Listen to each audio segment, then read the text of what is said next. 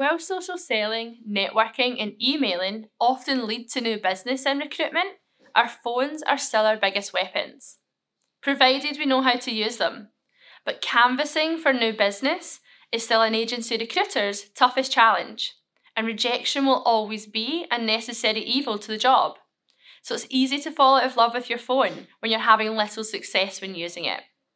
So, how can we bounce back from this and try to remember and take a little more blended approach to sales rather than just one or the other? Try focusing on making calls that are likely to convert. Making as many prospecting calls as possible to hiring managers in the hope that the laws of probability will bring you some success is just an old school technique. It just doesn't work anymore. This kind of spray and pray mythology will just make you dread the conversations you're going to have each time when you pick up the phone. We have so much information at our fingertips these days, there's really no excuse for calling prospects without doing your research first.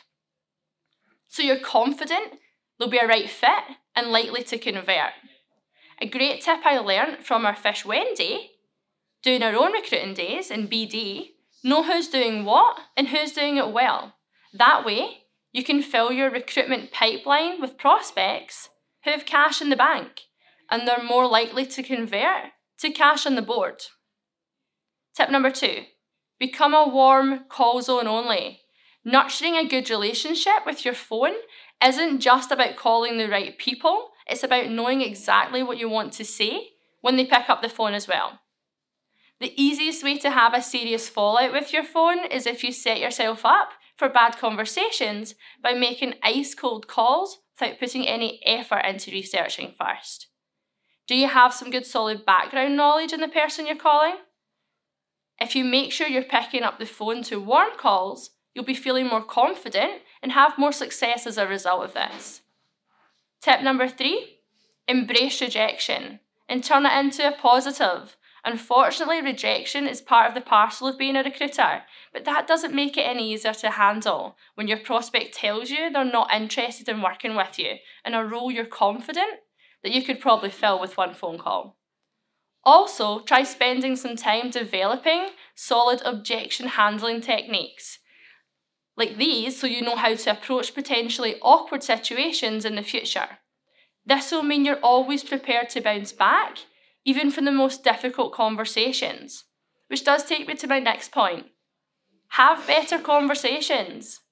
Okay, so having better conversations will naturally make us enjoy being on the phone more.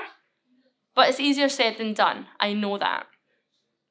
Well, there's some simple actions you can take that will improve your phone conversations vastly. For example, talking more than listening. Interrupting someone or asking a question and not listening to the answer because you're too busy thinking about what you want to ask next. These are all examples of small subconscious negative habits many of us practice when we speak to people on the phone and they all make the experience of a conversation a lot less enjoyable. Asking specific questions that are tailored based on what you've learned prior to the call will also show the person that you're calling that you value their time and have a genuine interest in learning more about their challenges.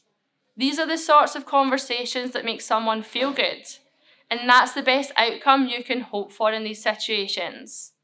Cover all of these points each time you go to pick up the phone, and you can guarantee the nature of your calls will improve and you'll enjoy picking up the phone again. I've recently done a blog on this subject, and you'll be able to find more hints and tips in the link below.